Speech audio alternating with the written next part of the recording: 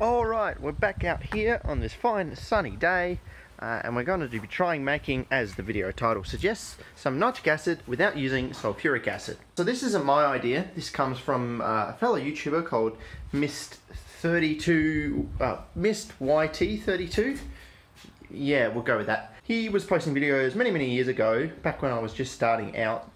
Um, he's since given up about six years ago. I followed his video when he first started out and so I'll run through the, what the, the science is behind it and then I'll explain why I actually you know did it in the first place and why, why I continue to do it.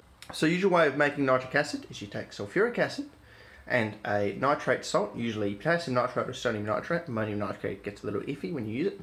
Uh, and it makes nitric acid, which you boil off, and you get potassium bisulfate left over, so, potassium hydrogen sulfate. What we're going to do instead is we're going to take sodium hydrogen sulfate, or sodium bisulfate as I prefer to call it, and the nitrate salt, and that's going to boil off some nitric acid and leave us with um, an equivalent each of um, sodium sulfate and potassium sulfate. I know I didn't balance this well, but it highlights the equation better when I write it like this, so just ignore that. So it looks all very easy when I write it like this, but really the big difference is that this first equation, sulfuric acid is a liquid, whereas sodium bisulfate is a solid. So this second reaction only occurs when sodium bisulfate is molten. So we have to melt the sodium bisulfate with the nitrate salt in order to distill off the nitric. So we need to heat this reaction up to a much higher temperature than we need to heat up this reaction, which has its own side effects. If you're thinking that this is a safer method now, because maybe, maybe you're just starting out and you think sulfuric acid by itself is too dangerous, this is not a safer method. It's 100% not safer. So why would I ever want to do this reaction? Why wouldn't I just do it with sulfuric acid originally? Well, a couple years ago, I was actually in the peculiar situation where it was virtually impossible for me to find sulfuric acid, but I could get nitrates like quite easily. Uh, this is basically a relic at this point, but um, this is the original. There's still a little bit of ammonium nitrate in the bottom. Um, these ammonium nitrate cold packs, I used to just go to the local pharmacy and pick up these for a couple of dollars, and they were filled with ammonium nitrate pills. I, you know, reacted this with potassium chloride, um, and that you would crystallize, out potassium nitrate really easily. But for life of me, I couldn't get um, sulfuric acid, and I wanted to make nitric acid. These days, we actually have the opposite issue, as you might expect. It's quite easy to get um, sulfuric acid and really quite hard to find nitrates over the counter.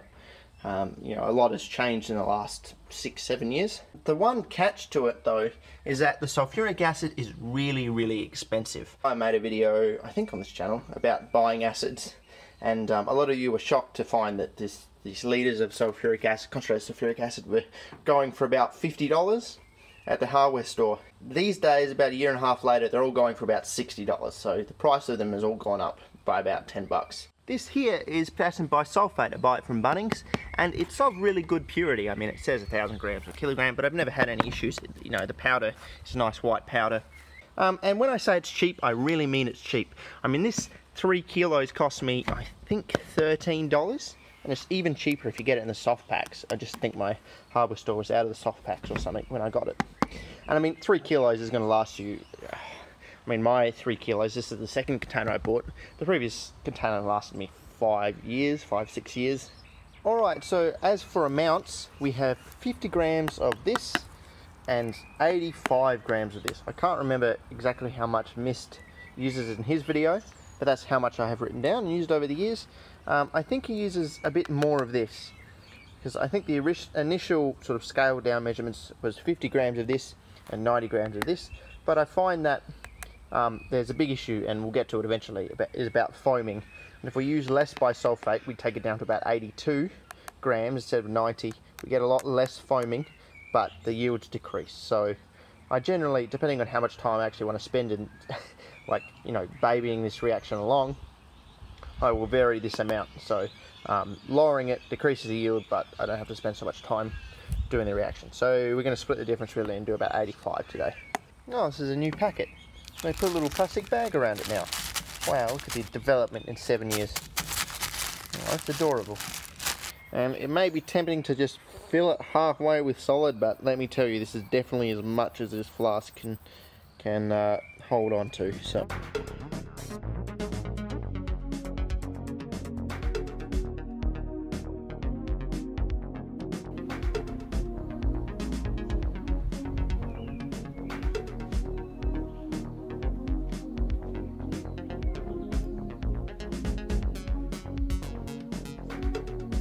It's nearly distilling over, but we can see there's quite an immediate problem in the fact that it generates a lot of nitrogen dioxide fumes. Now, when you distill using sulfuric acid, uh, you do produce some nitrogen dioxide fumes, but generally it's it's not heaps. With this re reaction, this distillation, there's heaps because you have to distill over the nitric acid at the melting point of the bisulfate. Therefore, you get some decomposition of the nitric acid, which comes over as, as nitrogen dioxide. We really have to deal with it. And so what I do is I tend to scrub it out. Um, and this has two advantages. One, you don't have so much nitrogen dioxide in the vicinity, which is beneficial for health and everything rusting around you.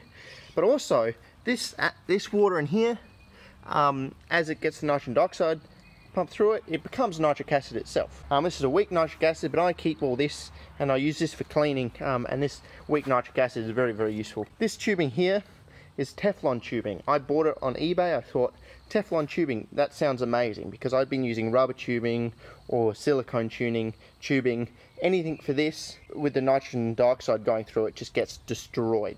So I thought Teflon tubing, that sounds amazing. Like that's the best product ever, you know, to be chem chemically inert. I get it, and I realize why no one has Teflon tubing. It's a real shit to work with. The physical properties of it is is dreadful as a tube. It just doesn't bend how you want to, and because it's non-stick, it's very hard to like seal joints. Like with this sort of joint here, if you had normal tubing, like here or here, you can just put the tube on the glass and it will stay there. With Teflon tubing, it just doesn't stay there. Like there's no there's no grip on the tube towards the glass. Oh, I can turn this down. So um, I've sealed this with Teflon tape and then parafilm because I just happen to have some parafilm and um, I've had to do one bit here and then join it um, with some parafilm to another bit and that goes all the way in here and then it leads to this funnel here which is our suckback trap um, because nitrogen oxide um, does tell, really like to suck back the water especially when it's cold which increases the nitrogen dioxide efficiency, um, absorption efficiency. Um, and I have had a few occasions where I've had sucked back all the way into uh, fully concentrated nitric acid, which um, is not disastrous, but it totally ruins the batch and you know, it's such a waste of time because I don't need more dilute nitric acid. I want to keep this as, you know, water free as possible. This kind of goes through phases. Um, it's a bit weird, but um, you can see how it's really brown up there and sort of clear that I think is the, the nitric acid kind of distilling off rather than decomposing. Um, but that that accompanies the, when it starts to foam. It's annoying in the sense that when it's foaming, it's actually doing the most like efficient distillation. You know what I mean? So it's getting the most nitric acid over when it's foaming, but you have to turn it down because it's foaming.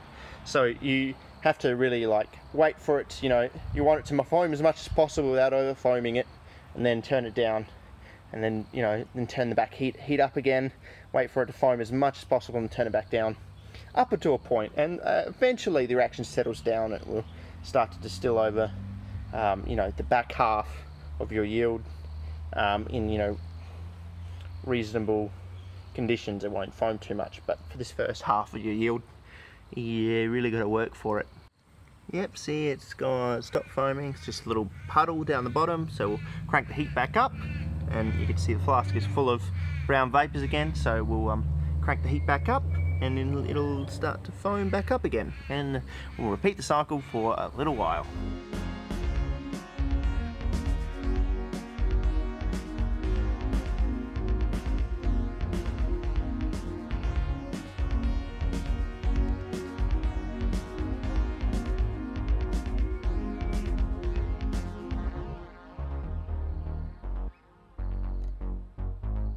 Just a couple notes about my setup. Um, th things people may ask. Um, one, do I grease the joints? No. I did try once greasing it with like the high vac grease that I stole a little bit from university and tried to grease the joints and nitric acid, concentrated nitric acid just cuts through that like a hot crumpet through butter, you know? It just melts it, all the grease, the highly inert grease, and takes it and um, you end up with all this grease in your final product. So, I mean, grease is fine for most other things, but concentrated nitric acid, uh, fuming nitric acid is, is really, really testing conditions, so, and it doesn't survive. What you can do is you can grease the joints with sulfuric acid. Um, this stops, you know, them leaking, but you also then have sulfuric acid in your joints. And, you know, I can't be stuffed. It works fine without it. Like, you get a bit of, like, this sort of thing happening nitric acid gets in your joints and your KEK clips kind of die, they bleach and then um, start to fall apart like that one has. See, it's all white and then the plastic is broken because it gets all brittle. But for the sake of just buying new KEK clips every so often, I just can't be fucked. And uh, this is a bit of a change of pace, but I just wanted to briefly mention without actually having to make a whole new video about it because my channel doesn't need update videos, it needs fucking chemistry videos. My main channel, quote unquote main channel, Explosion of Fire, is uh, set to make a comeback sort of soonish. I've been filming a lot of stuff for it. So I've got Explosion of Fire 2 as, as a channel, but the problem is, um, as much as I would love to upload energetics, probably going to get banned again.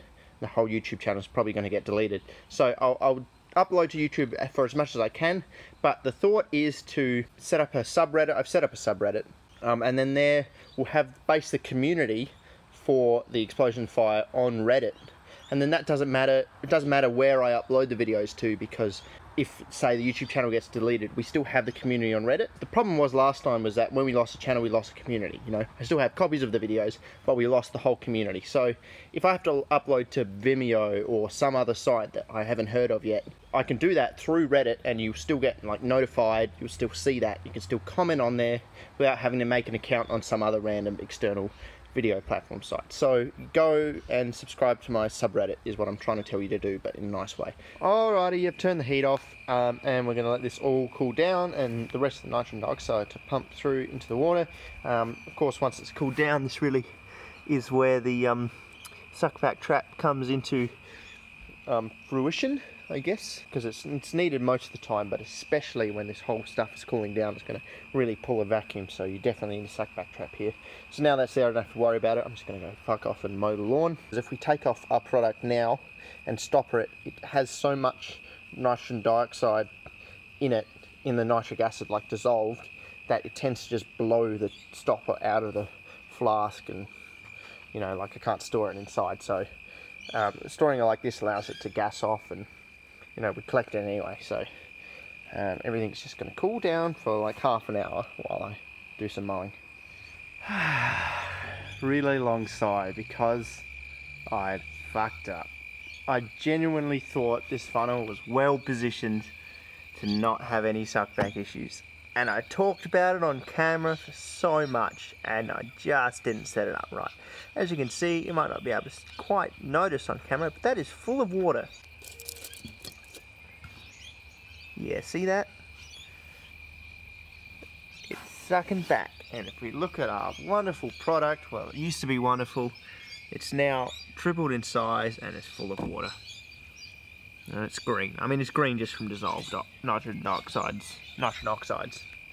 But it's no longer our fuming red nitric acid. Which is a real shame because the system works fine. It's just occasionally I fuck it up. Oh, I could redo it, but the light's failing on me, so... No. So we can test the acidity of this water that the nitrogen dioxide bubbled through, and we can see it's definitely very acidic. I think the moral of the story is really, sometimes it's good to quit while you're ahead in chemistry, not get too greedy. So I suppose we actually have done what it says in the title. This is nitric acid, and we made it without using sulfuric acid. It's just not red fuming nitric acid.